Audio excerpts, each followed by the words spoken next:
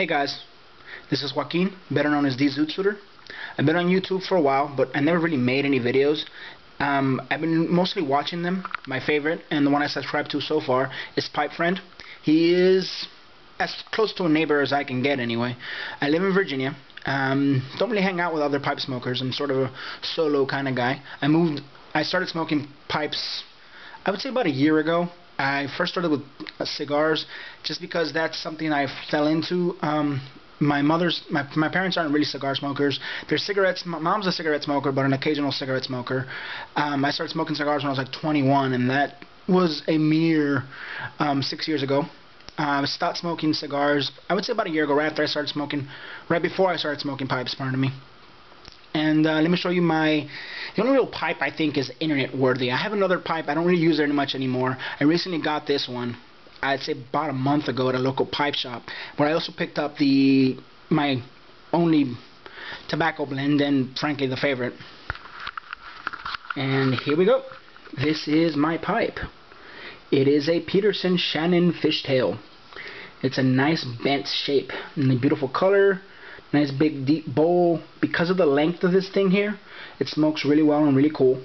I like it. I love it. I use it on a semi-regular basis. I'm not a avid pipe smoker just because I'm I don't know. I don't always I don't always have the time and I don't really devote that kind of time to pipe smoking. I rather not deal with the long-term health effects of smoking pipes on too much of a regular basis, but I do enjoy the habit of it because it's something you can do to relax and enjoy the end of the day. This is my favorite and only pipe blend. It is a Cherry Cavendish. It's about at the same place I bought the pipe. It is an aromatic. It is a Cavendish, obviously, and I love it. It smells great. It smokes great. It tastes sweet. Um, I'm not a huge fan of Latakias, though I tried them. Um, simply because they're a little strong. Like I said, I do. I am a cigar smoker, but I was never. And I have to admit, I was a huge fan of Maduros, which are the stronger cigars. My favorite to this day brand of cigars is Romeo and Julieta. Um, I like their Maduros. I also like um, some of the local cigars that are sold in the area. Very, but like I said, always Maduros. But when it comes to pipes, I kind of enjoyed a lighter and less cigar flavored pipe.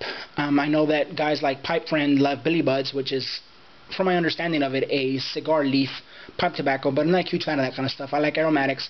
I like things that smell well. Unfortunately, I'm not going to light up my pipe in the apartment because I don't like smoking indoors. It does leave a smell in the apartment. This isn't a place that's my home, so I'm not going to stay here for very long. I mean, I might, but I'm not going to smoke in an apartment. It's just ridiculous. At least I think so, anyway. It's my opinion. If you do it, more power to you. And like I said, those were my, my pipes. Uh, hopefully I might make some videos later. I'm not really sure. I don't really keep a strict schedule on anything that I do, but hopefully I will. Bye.